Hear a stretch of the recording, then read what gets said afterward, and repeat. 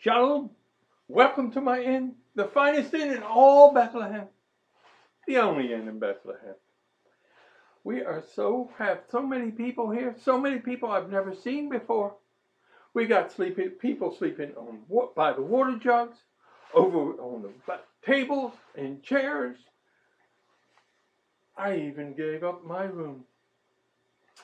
It was for a good price, I'll tell you that. Ah, this census.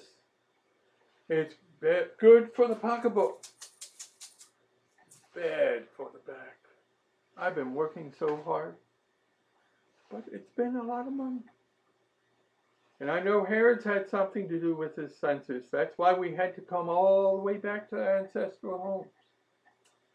I feel for these people traveling all over the world. It's not always been good.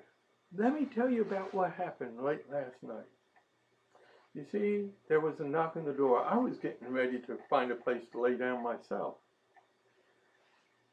There was a couple. They came from Nazareth. They were looking for a place to stay. His name was Joseph.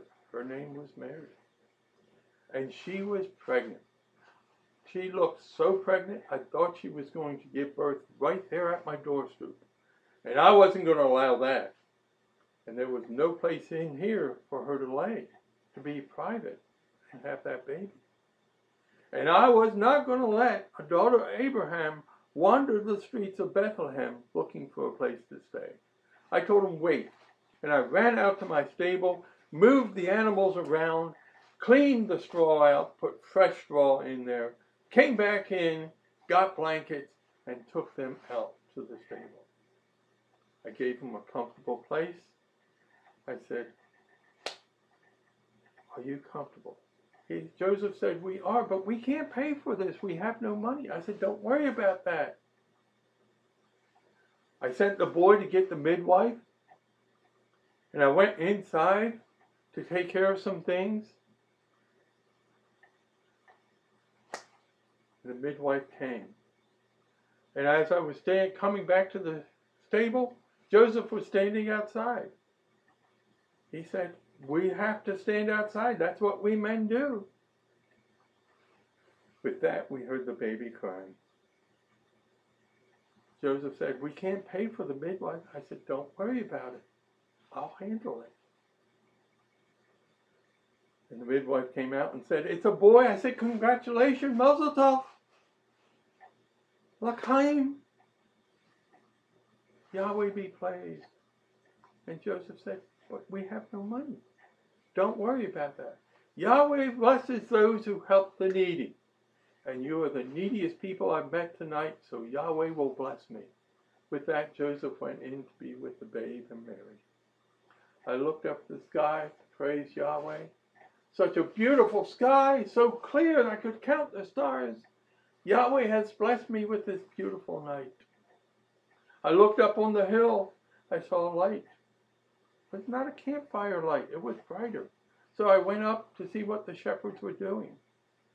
And there, before the shepherds, the angel of the Lord. Another great blessing.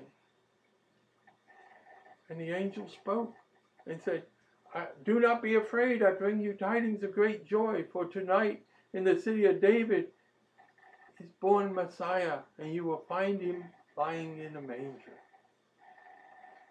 With that, more angels appeared, singing praises to God, saying, Glory to God in the highest, peace, goodwill to all men. Such a blessing. I cannot tell you how many uh, blessings I've had tonight. The money for the inn, the helping the needy, and beautiful sky, and seeing angels. With that, the shepherds got up and left their sheep alone. I'd never seen that before. Shepherds leaving their sheep. But they did, and they went, and I followed them. And they went into the stable, my stable. And they went in, and there was Mary and Joseph and the babe, just as the angel said it would be. And the shepherds looked, and they were happy. And they left to tell everybody Messiah was born. I crept in. And Joseph said, Are you okay? I said, I'm fine. Just com- perplexed, understood, not understanding. The angel said, The babe is Messiah. Is that true? And Joseph said, Yes. With that, I shook my head. He said, What's wrong now? He said, Messiah should be born in a palace, surrounded by luxury and Levites and Cohen praising Yahweh, not by shepherds in a stable and an innkeeper. Joseph said, You were the only ones who would listen.